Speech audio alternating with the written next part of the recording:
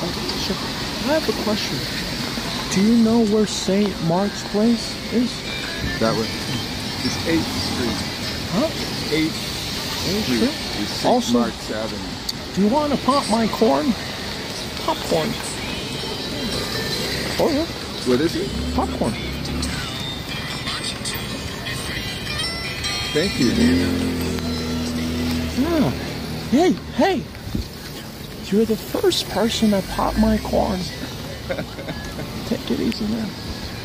How about that?